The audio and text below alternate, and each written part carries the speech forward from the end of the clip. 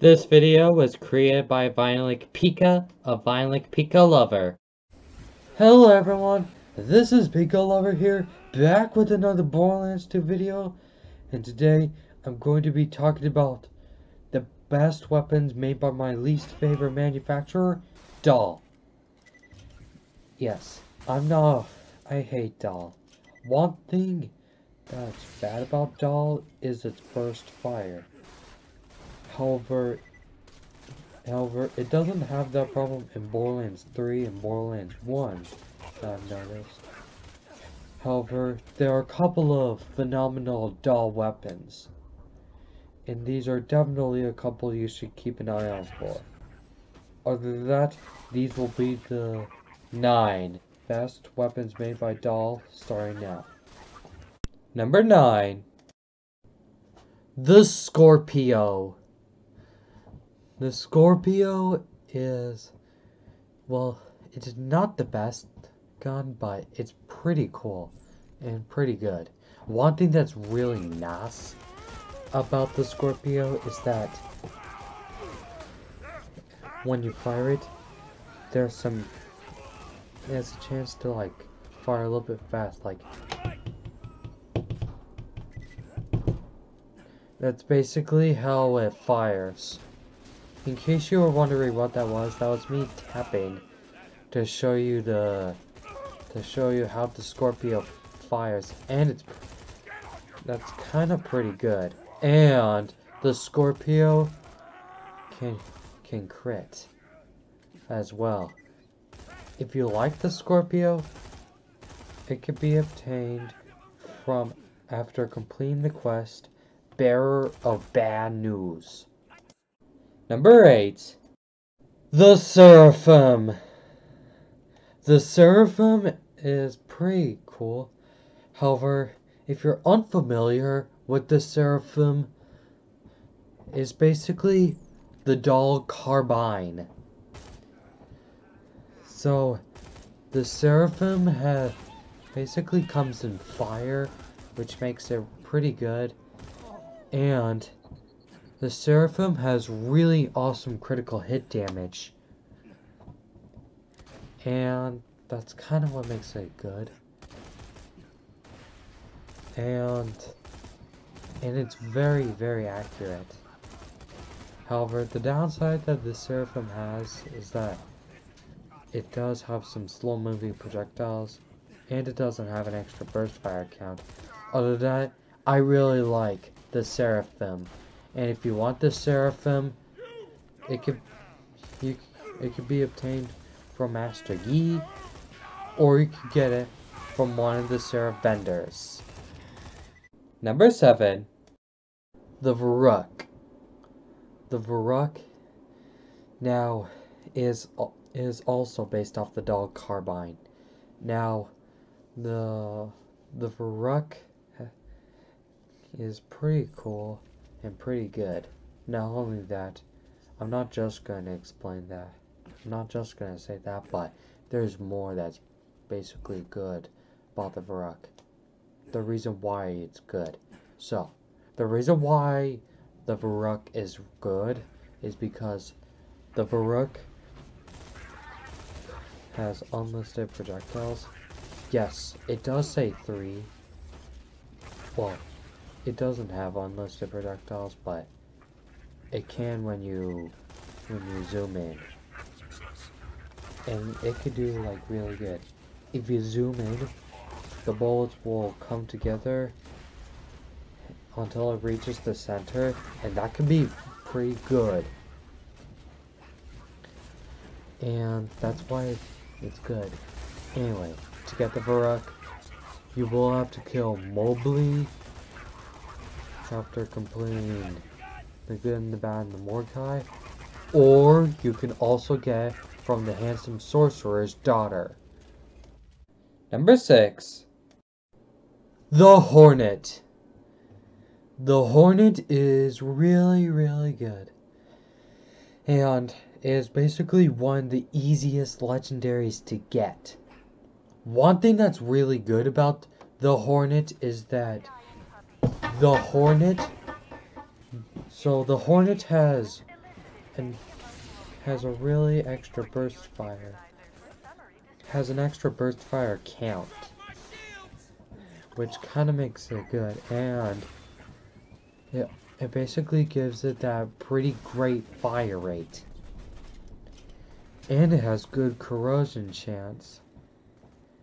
And it does really nice damage. And if you and if you want the Hornet, it can be obtained from Knuckle Dragger, or you can get it from Hyperius. Number 5. The Hector's Paradise. Now, if you're unfamiliar with the Hector's Paradise, the Hector's Paradise is basically the Hornet, but the shock version. However, it's base it basically has the same effect as the Hornet, which is kinda good. However, it does have a fixed blade accessory. However, it's really, really good. And I don't really have much to say about it, but the Hector's Paradise is pretty good. However, if you want the Hector's Paradise, it can be obtained in the Viper Sanctuary DLC after completing the quest called Echoes of the Past. Number 4. The Sandhawk.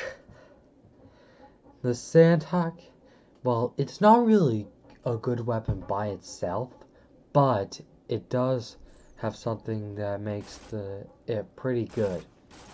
If you have a bee shield, equip that on when you're using the Sandhawk, because that's why it's really good. The Sand... So, with the combination of the Sandhawk and the bee shield, it will blow... It will demolish an enemy. It will, like, bring the pain. Like, it will do, like, phenomenal amounts of damage. And that's basically because of its unlisted projectiles. And better, you can use it on Hyperius, Pyro Pete, or even Terramorphous. Alright, so anyway, if to get the Sandhawk, you will have to complete the quest, Whoops. Number 3. The Lascaux. The Lascaux, this one is pretty good. And, what, this thing is so good, and it's really easy to get. So, if you're unfamiliar with the Lascaux, what the Lascaux does is when you fire it, it'll have it'll have better accuracy, it'll have extra projectiles coming out, and and it has really nice fire rate, and there's lots of bullets coming out. However, the however the bullets may may go a little bit separate, but not too separate. However, it's really good. And if you want the Lascaux and if you want to try it, you can obtain it from from walking to the pond and grabbing it. It's in Frostburn Canyon. No DLC required. Number two, the pitchfork. The pitchfork is really, really awesome. One thing I really like about the pitchfork is that, just like a pitchfork, the pitchfork has unlisted projectiles. It fires five bullets in a horizontal pattern. And and basically a pitchfork has has like four to five points which is why the pitchfork has those unlisted projectiles and they can do really good however however the bummer with the pitchfork is is the way to get it as it is pretty rare. So, to get the pitchfork, you will have to kill Terramorphous. You can also get it from Master Gee the Invincible. Or Master Gee. Number one. The toothpick. Yes, the toothpick is really, really awesome.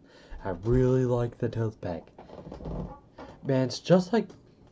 Man, the toothpick is like a little hybrid. I'm, I'm starting to think that they may have... That Gearbox may have combined the toothpick with the double pistol accessory, the hell, the Hellfire, and and the pitchfork special effect. However, if it isn't, if I'm wrong, then whatever. The pitchfork, the toothpick, sorry, the toothpick is really awesome. And it can do really good damage in combat. And when you zoom in and burst fire, there will be lots more. However, the downside that the toothpick has is that it, it may chew up through your ammo.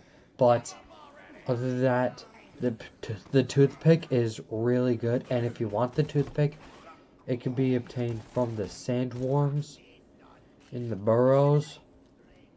Or if you come across a sandworm queen, kill a sandworm queen.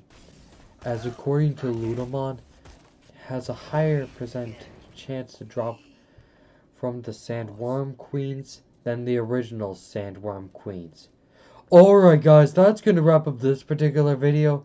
If you Did you guys like this video? If you guys did, please be sure to give it a like. And as always, my name is Pika Lover, and I'm going to see y'all later.